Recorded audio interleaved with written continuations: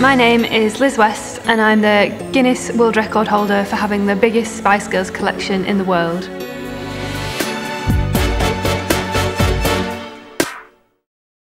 I see this as like the story of my life. I very vividly remember sneaking up to my bedroom and the Spice Girls had just been announced as being number one. I'd never heard so much energy before and I was just instantly gripped. I started collecting memorabilia as soon as they launched onto the pop scene, so that was 1996. For me, the way to become closer to my idols was to begin this collection. The more I had, the, it meant the bigger fan I was. Any Spice Girl fan will know that if you collected the pink ring pulls, you could send off for a limited edition Spice Girls CD. We all remember Geri wearing those in cans. Oh my God, I have to show you this. Mel B is gonna sing Two Become One. No, she's not. I'll always be buying just th those one or two things that just keeps me up there. Because once you've got a Guinness World Record, you don't want to let go of it. To have costumes that they wore as a fan is, is like the ultimate. It's because they've been photographed in it and because they've sung your favourite song wearing it and because their energy has been present in their bodies when they've worn it. It's just about having the very fabric that touched their bodies. I have the Guinness World Record, that is a fact. I am the biggest collector. Seeing it all out, you just think, wow, you know, I have all this stuff. This belongs to me, no one else. There are other fans out there, you know, they've seen that I've got fame from my collection. You know, I've appeared on the television, I've met the girls, the girls know who I am, and they think, oh, I want that. It's caused rifts and it's caused bullying, but it's also caused so much joy as well.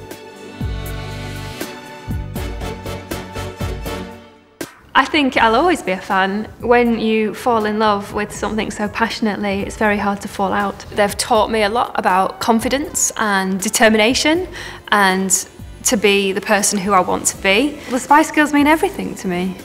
One day it would be amazing to see it on permanent display in a museum. Now, whether that's me that has to set up that museum somewhere or whether I would um, donate it to a museum in my will, that is yet to be a decision that I've, have to make.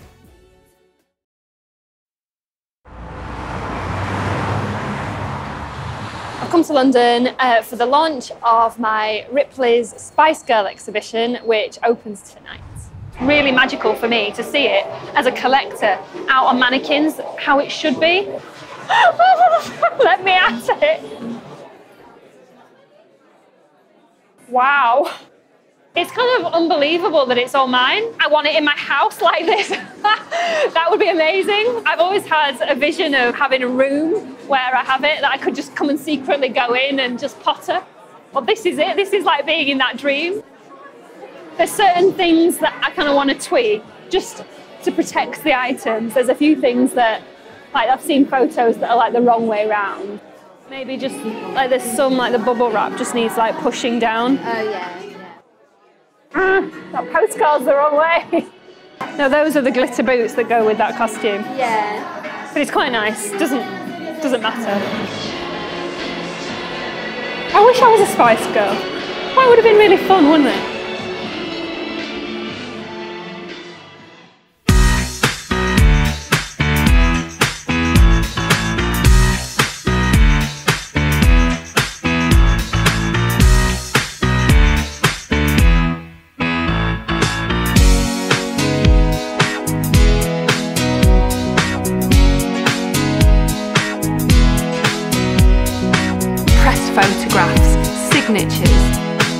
T-shirts, key rings, costumes, stationery, Spice Girls crisps, drinks, body spray, sweets, chocolate, award discs, promotional items. Spice Girls drinks, Spice Girls lollies, Spice Girls impulse, Spice Girls cameras, Spice Girls... If you wanna be my lover